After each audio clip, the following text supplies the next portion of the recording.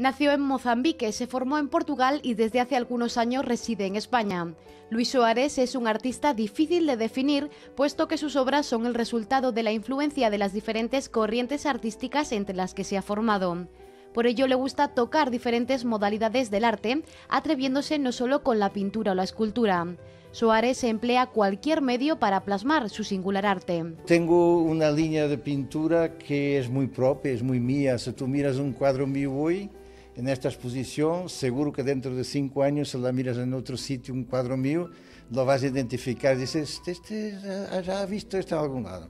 Claro, eso es muy importante, conseguir eso. Su espíritu innovador le llevó a ser el creador de una cerámica en Portugal típica de una población en la que fundó su escuela. Yo creé una cerámica en Portugal llamada cerámica de Cascais, que es una cerámica con pescado, muy conocida, hoy es muy, hoy es muy conocida y es la cerámica del pueblo de ahí ya tiene escuela, ya no necesita de mí para vivir.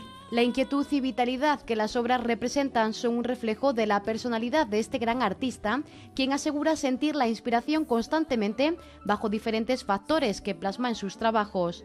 Más de 120 obras son las que se pueden contemplar en esta exposición, en la que el artista nos invita a hacer un recorrido por toda su obra. Como una retrospectiva de mi, de mi obra para que la gente de Talavera y comarca me venga a conocer y sabe mi trayectoria un poco. Y a partir de aquí entonces haré exposiciones ya anuales o de dos o tres en tres años de la obra actual.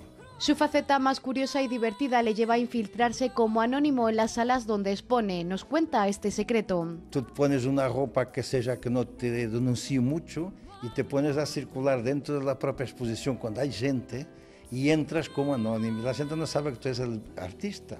Entonces tú oír los comentarios de las personas es muy confortante, te encanta porque y aprendes también y te gusta. Hasta el 30 de octubre estas obras pueden ser visitadas en el Centro Cultural Rafael Morales de Talavera, una muestra que no le dejará indiferente.